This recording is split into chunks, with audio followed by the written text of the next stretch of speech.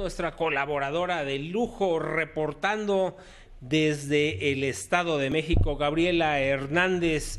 Le está siguiendo la huella y los pasos a Andrés Manuel López Obrador, ¿no? Que el día de hoy firmó un segundo pacto en el Estado de México. Gaby Hernández, muy buenas tardes, tú tienes la información.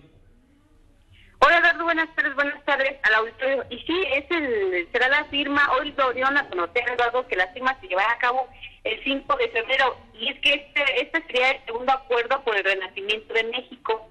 Y bueno, la firma será en el estadio Nesa 86 del municipio de Nezahualcóyotl, en donde estará Andrés Manuel López Obrador y la precandidata de Morena al gobierno del Estado de México, Cristina Gómez Álvarez. Y bueno, el primer acuerdo se realizó en el estado de Michoacán, en el cual se convocó a militantes de partidos políticos, organizaciones sociales y ciudadanos para participar en el proyecto alternativo de nación.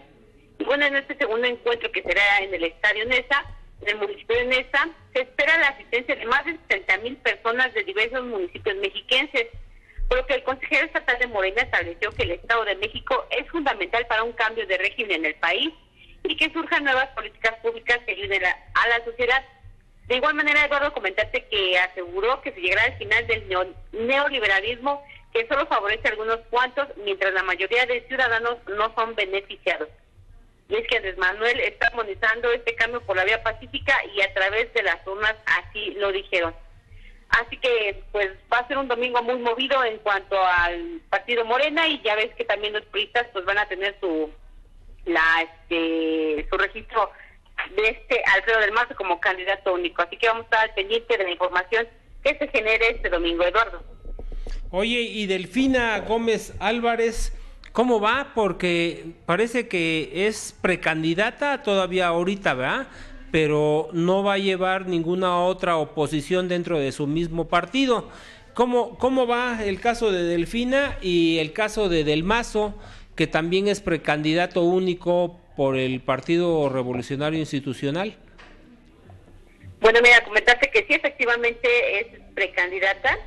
Eh, de igual manera, eh, militantes del Partido Acción Nacional eh, han interpuesto una, una queja ante el IEM de que está haciendo pues ya pues su mini campaña, como ellos le llamaron, de esta vecina. Y bueno, pues también vamos a ver qué, qué surge de esa, de esa petición que le hacen al IEM.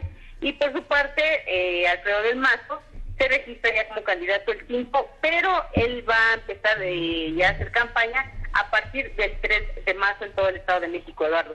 A partir del 3 de marzo, bueno, pues ya Delfina le lleva eh, un tranco bastante grande adelantado, ¿no? Me dicen que ya lleva 17 giras por el Estado de México en 25 municipios, nada más, imagínate cómo va corriendo mientras Del Mazo apenas está viendo cómo se organiza. A ver si no les comen el mandado, Gaby. Así es, Eduardo. Y bueno, eh, también este, pues en estas giras, solamente en algunos municipios estratégicos, pues también se hace presente este Andrés Manuel López Obrador. Obviamente, pues todavía les falta mucho por recorrer, porque en sí, eh, habitantes del municipio de Texcoco, les puedo comentarte brevemente, pues se han quejado de que pues como alcalde ella no hizo nada, como diputada pues se la, se la pasó haciendo este giras en representación de Morena en varios municipios del Estado de México. Entonces hay descontento, pero pues vamos a ver cómo se, cómo se dan las cosas en esta contienda electoral, Eduardo. Hay que darle seguimiento. Muchísimas gracias, Gabriela Hernández, desde el Estado de México. Gracias, Eduardo. Hasta mañana.